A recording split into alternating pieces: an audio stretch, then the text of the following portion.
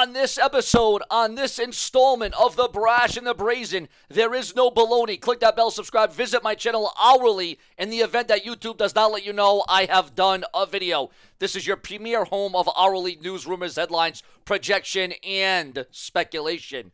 But, ladies and gentlemen, we got massive updates on WrestleMania, Roman Reigns, Paul Heyman and the WWE Undisputed Universal Heavyweight Championship of this world. We are going to break it down for each and every one of you because we're going to go downtown to Chinatown. For all of you, remember to share this video to Facebook and Twitter. Please become a channel member today for as low as $2 a month. It really helps support the channel with all the time, effort, commotion.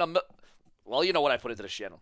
There's there is some sometimes a lot of commotion on the channel, but we love commotion. We love your comments, your thoughts, your opinions because this show is about you. So not only is this a breaking news update, but this is a shocking update, ladies and gentlemen. There is rumors that oh wait, wait a minute we got oh we got another exclusive right before I get into the Paul Heyman uh, Roman Reigns WrestleMania update. We got breaking news coming in right now.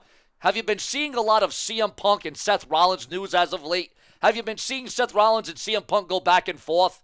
You know, they've been mincing words. They've been, you know, having these little diatribes between each other, right? Seth Rollins and CM Punk. There is heavy speculation. There is heavy rumors online that this could ultimately lead to a future match between CM Punk and Seth Rollins.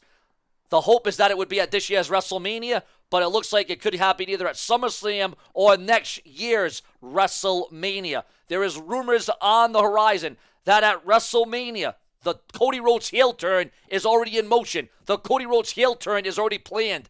That Roman Reigns at WrestleMania could get turned on. Paul Heyman could turn on Roman Reigns and join Cody Rhodes. Thus, the heel turn begins for Cody Rhodes. Do you want to see this? Yes or no? Remember, there's rumors online that the Cody Rhodes heel turn is already in motion. Your thoughts, your comments, your opinions. More to come. This is your hourly source of news, rumors, headlines around the clock. I don't stop. Later.